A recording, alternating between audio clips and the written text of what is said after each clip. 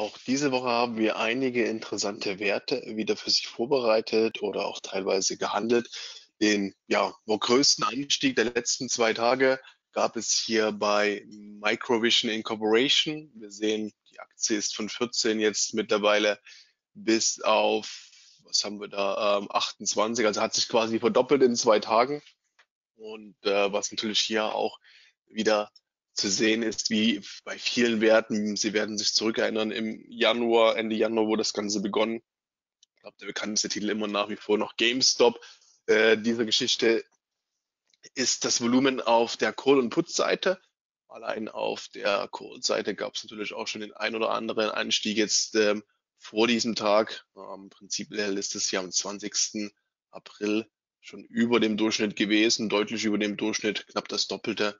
Ähm, dann hat sich das am ähm, 21. und 22. noch fortgesetzt, am 22. auch mehr als das Doppelte ähm, vom Call-Volumen. Und wir sehen natürlich jetzt diesen massiven Anstieg vom ähm, Freitag und von heute.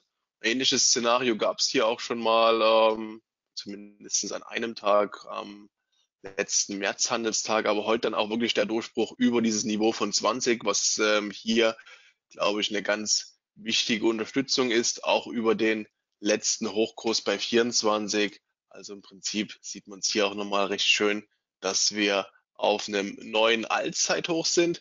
Interessant zu wissen, news-technisch äh, ist da jetzt gar nicht so viel passiert und vielleicht für alle, die es jetzt länger halten wollen, da ganz ähm, ja, wichtig zu wissen, erstmal nach solchen Bewegungen natürlich ähm, immer wichtig, äh, vielleicht auch die anderen Beispiele aus diesem Bereich nochmal mit zu erwähnen, ob das jetzt EMC war oder ob das GameStop war. Die sind alle auch wieder relativ schnell nach unten gekommen. Also was schnell nach oben geht, ähm, fällt in der Regel auch relativ schnell wieder auf ein altes Niveau zurück. Ähm, so zumindestens ähm, mit sehr vielen Beispielen aus der Vergangenheit. Aber ganz wichtig, die Quartalszahlen stehen hier an. Und zwar diese Woche noch am 29. April glaube sogar, dass es ähm, nach Börsenende der Fall sein sollte. Ähm, so ist es genau am 29. April nach Börsenschluss. Ähm, da kann natürlich dann nochmal einiges äh, passieren. Da erwartet vielleicht sogar nochmal ein großes ähm, Gap. Ähm, also da könnte man natürlich diesen Wert insbesondere auch die ganze Woche nochmal im Auge behalten, was dann auch nach den Quartalszahlen hier vielleicht noch passiert. Ja, das ist der erste Wert ähm, und vielleicht auch der mit der größten Bewegung. Ansonsten gab es natürlich auch in der letzten Woche noch einige interessante ähm, Titel, wie hier zum Beispiel ähm, kleinerer Wert CIG, wo es ähm, um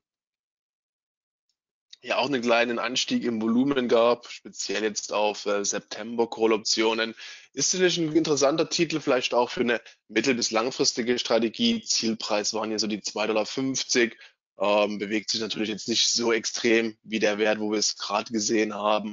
Aber um Ihnen vielleicht auch noch einen kleinen Hintergrund zu diesem Wert zu geben, schauen wir natürlich auch noch mal ganz kurz, äh, was hier noch an wichtigen an Informationen zu nennen ist. Also prinzipiell ein Wert aus Brasilien.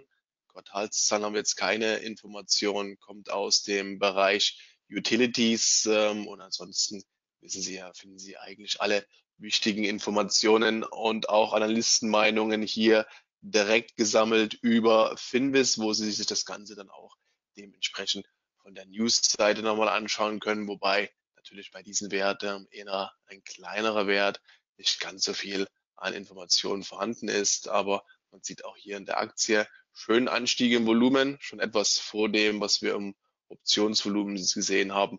Also eher ein mittel- oder langfristiger Titel, der hier sicherlich auch recht interessant werden kann. Ja, wo gab es sonst noch interessante Bewegungen? Bereits in der letzten Woche, das war bei DISH, also Dish Network Corporation der Fall. Wir hatten hier schöne Bewegung über den letzten Hochkurs bei, was war es hier, 39 Dollar. Sehen jetzt wirklich diesen Ausbruch. Äh, die Dynamik hat etwas nachgelassen. Wir sehen auch ähm, starken Rückgang im Optionsvolumen. Ähm, das bedeutet natürlich hier wie auch bei vielen anderen Bewegungen erstmal ja, eine Pausierung oder vielleicht etwas ähm, eine Beruhigung dieses ähm, starken Aufwärtstrends, ähm, respektive auch Gewinnmitnahmen durchaus möglich. Aber hier gab es auch Wetten, dass der Kurs dann im Juni noch über die 45 Dollar Marke steigt. Das war mit Sicherheit noch einer der interessanten Titel der letzten Woche. Ja, ansonsten, ähm, was auch ein ganz interessanter Wert aus der vergangenen äh, Woche war, ähm, ist der Wert AT&T. Da wollen wir natürlich auch mal ganz kurz ähm, drauf schauen. AT&T, wo wir ja hier in der Form ähm, Quartalszahlen hatten, einen Riesensprung und äh, das, was wir bei AT&T sehr häufig feststellen, hier ist es eigentlich vom Chart ähm, noch etwas besser zu sehen. Ist genau wieder beim letzten Hochkurs abgeprallt. Das heißt, äh, wird wahrscheinlich sogar in Richtung Gap-Schließung gehen, äh, weil AT&T ist, ich will nicht äh, sagen, der prädestinierte Wert für Seitwärtsbewegungen, aber nach großen Ausbrüchen kommt der Wert ähm, immer wieder recht stark in die Richtung ja, des Moving Average, der Durchschnittskurse zurück, wo er zuletzt sich bewegt hat. Ähm, also da sind ähm, selten nach Ausbrüchen weitere ähm, Bewegungen in die jeweilige Richtung zu sehen. Ähm, deswegen auch für uns hier eher ein Wert, wo wir auf ähm, eine Korrektur, auf eine Gap-Schließung gesetzt haben. Und ähm, ja, neben diesen Werten gab es natürlich nächste, letzte Woche auch viele Titel, die Quartalszahlen gebracht haben.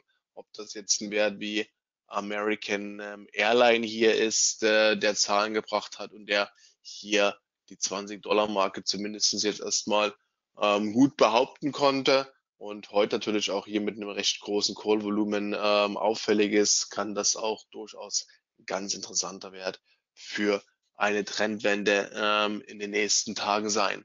Ähm, ja, dazu würde ich Ihnen empfehlen, subscriben Sie unseren ähm, Kanal, sodass Sie auch keines der folgenden Videos verpassen. Wir sind jetzt direkt in der Quartalsperiode und da wird einiges noch nachkommen und ähm, gerade jetzt Ende April, Anfang Mai bringen fast alle großen Firmen ihre Zahlen und äh, wir sind gespannt, was wir Ihnen noch für weitere interessante Titel hier präsentieren können. In dem Sinne, ähm, bis zum nächsten Mal.